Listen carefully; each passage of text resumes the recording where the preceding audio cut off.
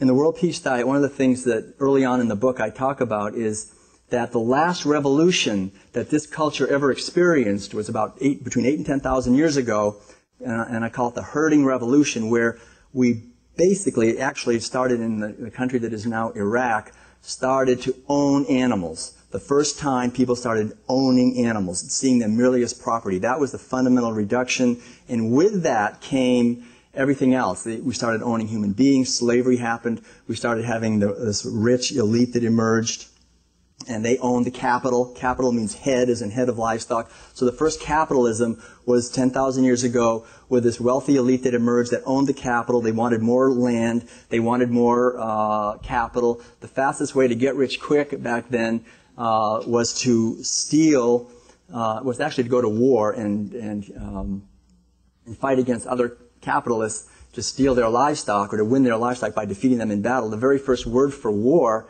uh, in this planet that we know of is the old Sanskrit word gavya, which means simply the desire for more cattle. That was the first word for war, and people who lost, basically their, their livestock became the property of the ones who won, and the men became slaves, the women uh, became concubines. And uh, it was really uh, a brutal time, and this, and it brought out the worst in people. The men had to become hard and tough and brutal and disconnected from their feelings. Women became reduced to mere property that were bought and sold like chattel property. If you look at the very first uh, writings that we have, the the ancient uh, epic of Gilgamesh, the old Sumerian writings, the Iliad, the Odyssey, the Old Testament writings, the first ones, you see by the time the historic period emerged 3,000 years ago um, the whole thing is, is, is, established. There's slavery, and there's uh, women are property, and the wild and nature, wildlife, has also been reduced to being the status of mere pests. You know, they maybe will interfere with our livestock, so we want to get rid of them. And whoever owned the most capital, the most uh, sheep and goats and cows, uh, they were the ones who controlled society. They controlled all the institutions. They controlled religion and education. And is it any different today? I mean, why is it that it is still today the one that making war is the most profitable thing for the wealthy elite because we're still eating the same food. At the end of the day, we go home and we eat the flesh of animals that have been brutalized and we eat the secretions of the same animals that have been brutalized. And so we keep the same institutions in place. And that's the reason we've had so much trouble making any significant progress uh, in this world and this, all these efforts for justice and sustainability because we're still eating the same food. We're still fundamentally um, reinforcing within ourselves the idea that might makes right, uh, the idea that we can exclude other living beings from the sphere of our compassion, and the idea that war is, uh, is, is a, a, good way to make money. And this is underlying this culture. This is the living fury at the core of our culture that it, no one can look at. It's taboo to talk about this. So once we start to see it, then we get the understanding of the big picture of our culture. Then we realize why veganism is so essential why it's the most powerful thing anyone can do to bless our world, and why I mean, there's nothing more benevolent and more um, sacred and noble, I think, than anyone can do than to take on the task of spreading this message of veganism. Because at the very core of veganism, the other thing is, is the domination of the feminine. These animals that are most brutalized in this whole system are female animals. On dairy farms, on uh, factory farms for pigs, chickens, cows, fish, all of this stuff basically it's the female animals and the female reproductive cycles that are mercilessly dominated.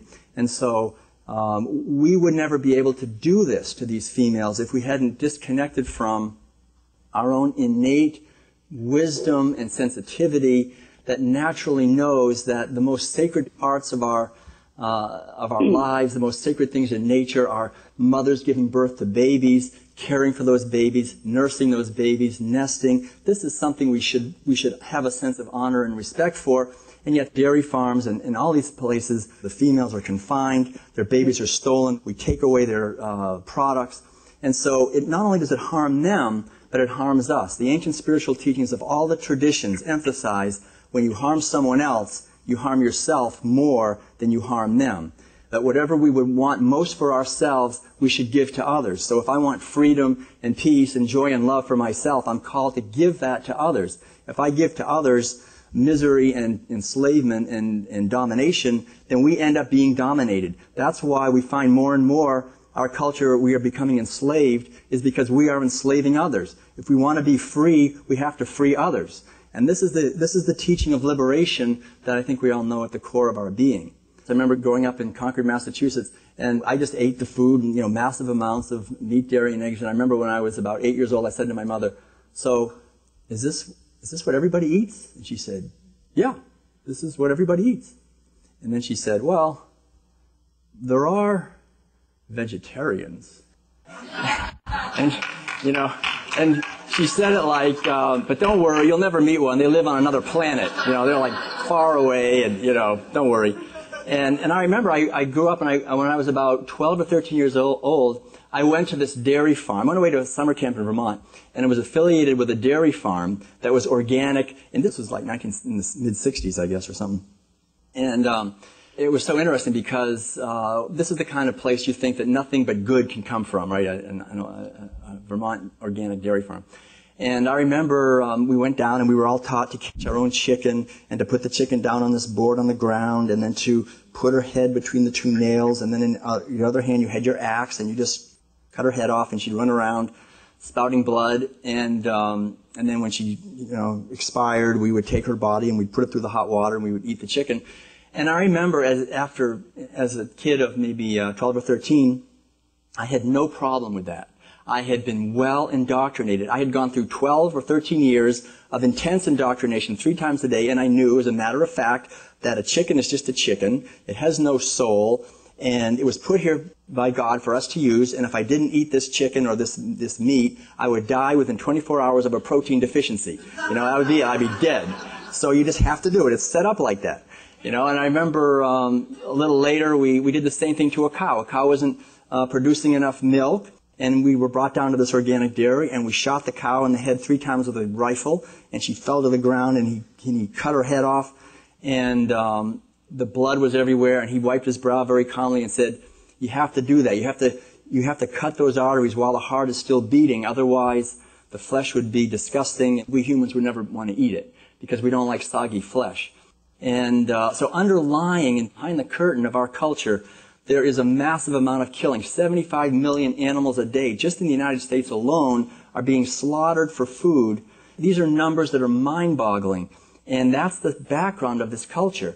And unless we begin to look behind the curtain of our denial and come to terms with this violence, not only to the human beings who have to do this kind of brutality on a massive scale and what it does to them. If you just read books about what slaughterhouse workers and factory farm workers go through, the violence, the, the spousal abuse, the drug addiction, the alcohol addiction, the misery in their lives, about a billion people are chronically malnourished and hungry. And another billion people are chronically obese and overweight because they're eating, they're gorging on grain-fed animals. And um, the massive devastation to the environment and the disconnectedness underlying that that's been injected into our, us by our culture and by our religion, by every institution, because we don't want to look at this because it goes against our fundamental nature. So the underlying idea is to awaken to our natural compassion. And I think this is the great calling that we all have. This is the underlying benevolent transformation, benevolent revolution, benevolent evolution that our culture yearns for and longs for. And we can see right now, literally, it's on our plate. We now have three years and four months, thank you, thank you, to, uh, like, to make the major changes. And I just uh, want to invite all of us in this room and all everyone who's listening to this uh, or watching this at any time to go into our communities and spread this message. I was just at a retreat on my book, The World Peace Diet. 40 people went out and they're, they're now teaching the ideas in the World Peace Diet to, in their communities. We can do that with, with all modes and forms of vegan education. It's a grassroots movement. It's not going to be coming probably for a while to the mass media, but it can. And it, but it will when we get strong enough. So uh, keep spreading this wonderful message, and uh, thank you very much.